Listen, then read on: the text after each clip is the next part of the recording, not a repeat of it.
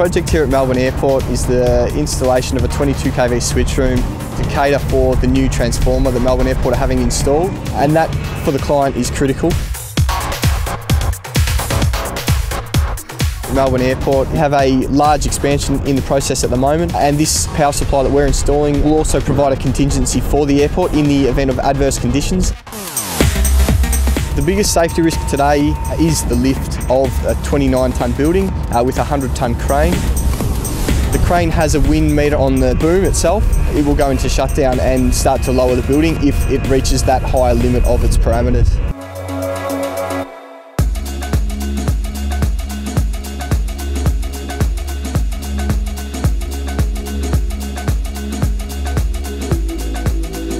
This project used three different departments within Zinfra. It started in design, it then transferred across into the substation's construction. It's then also got an underground component.